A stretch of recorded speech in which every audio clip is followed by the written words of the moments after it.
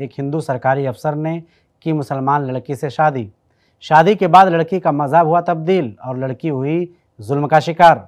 मोहब्बत के जाल में फंस कर एक मुसलमान लड़की की ज़िंदगी बर्बाद करने का मामला मध्य प्रदेश के अली रजापुर से सामने आया है, जहाँ फरहत नाजरीन नामी एक लड़की भगवा ट्रेप का शिकार होकर अली रजापुर के विनय रंगशाही नामी हिंदू अफसर की मोहब्बत के जाल में फंसकर उससे शादी कर ली।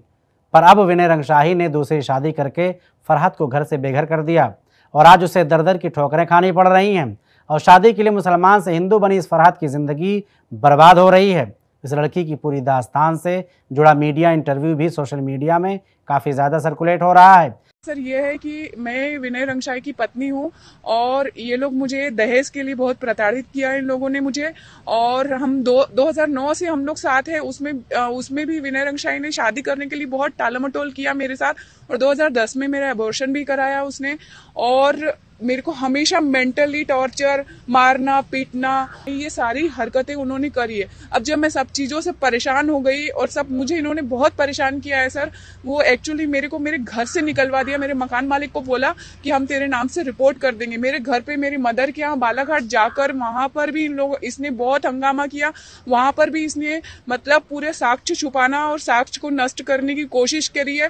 मेरे भाई को एक सीएसपी कोई इसका दोस्त है, कोई डीएसपी दोस्त है, कोई वकील जी तीनों के सामने बैठा के बोला कि आर्म्स एक्ट में फंसाऊँगा, धर्मांतरण एक्ट में फंसाऊँगा और शराब रखने वाले एक्ट एक्ट में तुमको फंसाऊँगा, अगर तुम्हारी बहन ने मुझे तलाक नहीं दिया। तो उनको वहाँ बालाघाट में इतना दबाव बनाया कि मेरे भाई ने बेचारे ने, हमारे खानदान में कभी कोई पुलिस में आज तक कोई केस ही नहीं हुआ। मेरे भाई ने बेचारे ने डर के मारे उसको मेरी मेरिज सर्टिफिकेट दे दी। धर्मांतरण के लिए दबाव भी बनाया गया था?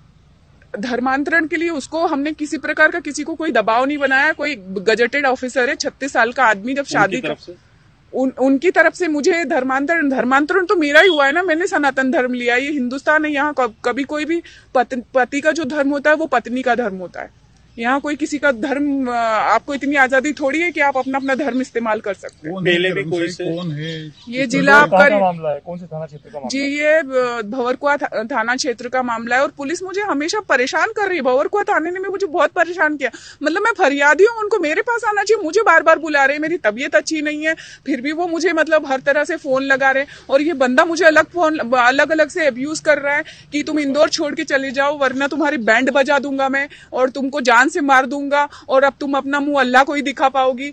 मतलब ये क्या है? This is not the way कौन कौन है रंगशाही? किस पद पे हैं अभी? ये जिला आबकारी अधिकारी है अलीराजपुर में है ये पोस्टेड और ये मैं आबकारी विभाग में भी ये सब चीज़ दे चुकी हूँ लेकिन आबकारी विभाग भी कुछ नहीं कर रहा है उसको पूरा सपोर्ट मिला हुआ अच्छा है पहले भी कोई कोई वीडियो वीडियो में फरात ने बताया कि उसने आज से कुछ सालों पहले एक्साइज ऑफिसर विनय रंगशाही के साथ शादी की थी।